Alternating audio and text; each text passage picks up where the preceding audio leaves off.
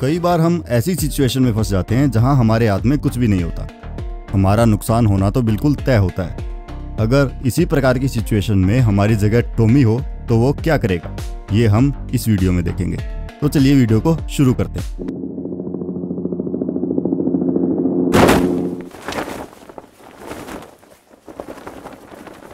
इस सीन को डिकोड करने से पहले मैं आपको इस सीन के जस्ट बाद का सीन दिखाता हूँ।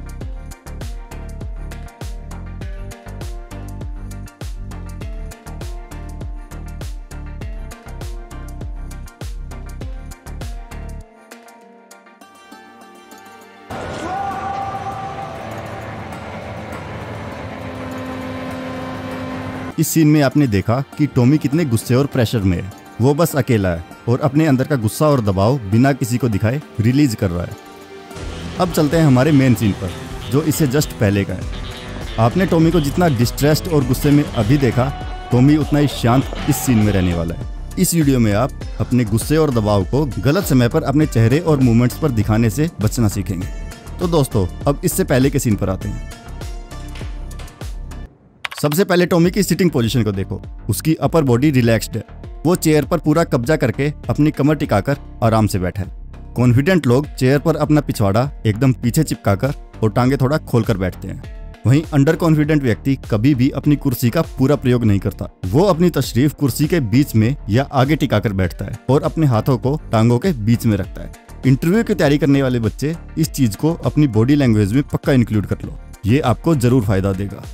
टोमी के सामने वाला बंदा भी अच्छी पोजीशन में बैठा है। बस उसने अपने हाथ बाँध रखे हैं जो इतना ठीक नहीं है। अब इस औरत को देखो। ऐसी बॉडी लैंग्वेज गुस्से को दर्शाती है। उसका हाथों को ऐसे फोल्ड करना दिखाता है कि वो सामने वाले के किसी भी प्रकार के आर्ग्यूमेंट के लिए ओपन नहीं है। वहीं उसके अंदर गुस्से या शिकायत से संबंधित कुछ चल रहा है। और यहाँ टोमी को देखो। यहाँ उसकी लाइफ खत्म हो सकती है लेकिन तब भी उसके एटीट्यूड में कोई कमी नहीं है। वो अपने आप को चौड़ा दिखा रहा है। साथ ही वो रिलैक्स्ड भी है.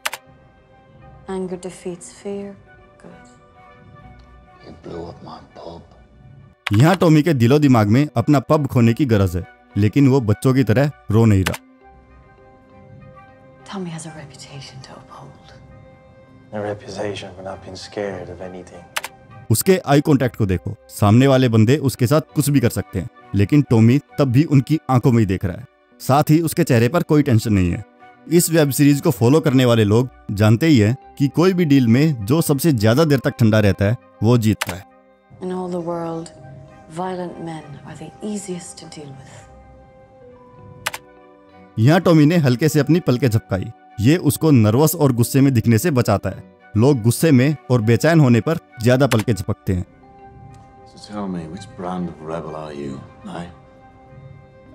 I read somewhere that you Paddy started fighting amongst yourselves now.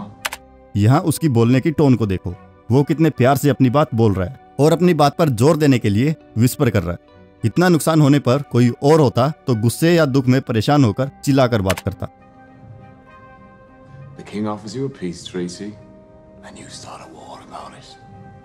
Tommy ने जिस अंदाज से बात की सामने वाले धीरे धीरे उसकी बातों में इंटरेस्टेड होने लगे हैं। इन दोनों के फेस को देखो और इस आदमी की टेडी गर्दन भी टोमी की बातों में उसका जागता हुआ इंटरेस्ट दिखा रही है।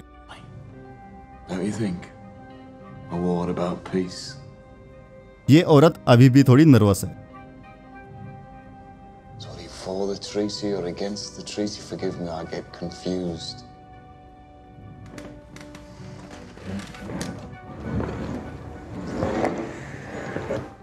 You were one decision away from death.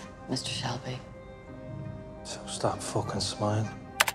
वो ऐसी सिचुएशन में भी मुस्कुरा रहा है मतलब टॉमी सच में फैंटास्टिक है प्रेशर हो या जान का खतरा सभी सिचुएशंस में बचने का बस एक ही रास्ता होता है जो अधिकतर लोग चाहकर भी अपना नहीं पाते ये रास्ता है शांत रहकर सोचने का टॉमी यहाँ इतना शांत है कि इन दोनों को उसकी शांति से ही डर लगने लगा है कई बार आपकी शांति आपके दुश्मन को भी सेल्फ डाउट में ला देती है Your name is Irene O'Donnell. Tommy ने यहाँ सब कुछ इग्नोर करके सब्जेक्ट बदलकर इस आदमी को ये दिखा दिया कि टोमी उसको कुछ भी नहीं समझता है। यहाँ आपने देखा इस औरत ने कितनी तेज पलके झपकाई। मतलब वो अपने बेटे का नाम सुनकर और ज़्यादा डर रही है.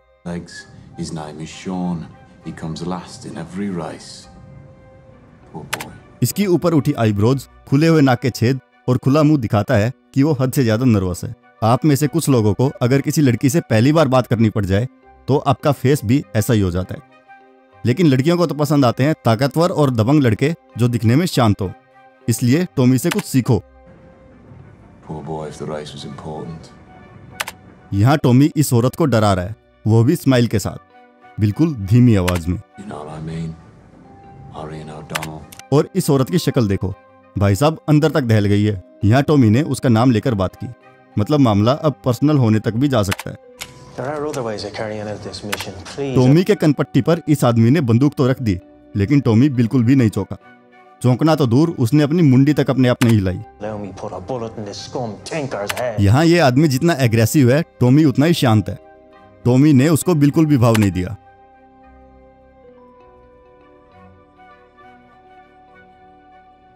ये औरत लंबे सांस ले रही है और इसके गले के खिंचाव को देखो। मतलब अब टोमी की उसके परिवार की जानकारी और खतरनाक शांत एटीट्यूड से ये no. और ज़्यादा टेंशन में है He researches his enemies. That's why he's been chosen. I am chosen. यहाँ टॉमी ने मज़ाक में उत्तर दिया और बंदूक वाले आदमी से पूरी आँखें खोलकर आई कांटेक्ट बनाया इस वीडियो की शुरुआत में हमने देखा था कि टॉमी कितना टेंशन में चला रहा था टॉमी अंदर से अब भी वैसा ही है। लेकिन वो ये सब अपने चेहरे पर बिल्कुल नहीं आने दे रहा। और अब तो वो ये सब ढकने और स्माइल बरकरार रखने के लिए मज़ाक का सहारा ले रहा the chosen one smoke?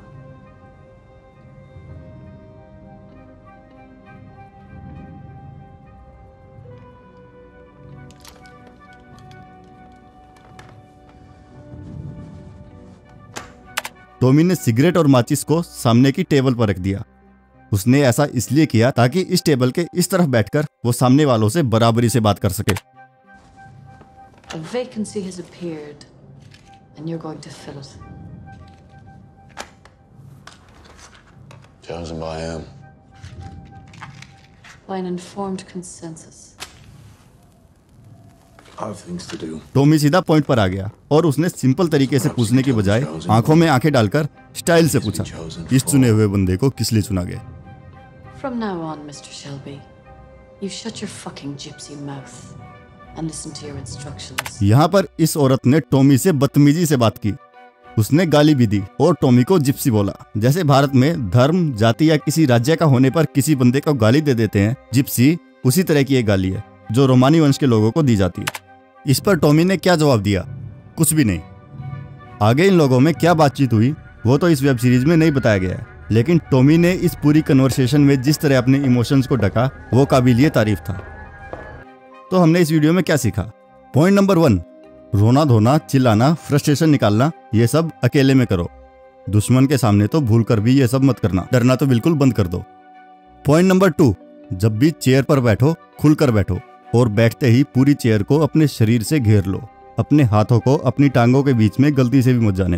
Point number तीन, जहाँ आप कुछ नहीं कर सकते, वहाँ कॉन्फिडेंट बॉडी लैंग्वेज के साथ चुपचाप आई कांटेक्ट बनाकर बैठो।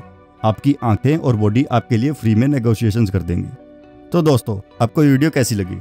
अच्छी लगी हो तो वीडियो को लाइक करें और चैनल को सब्सक्राइब करें। साथ ही आपको अगली वीडियो किस चीज़ पर चाहिए, ज़रूर लिखें। मिलते हैं अगली वीडियो में। जय हिंद।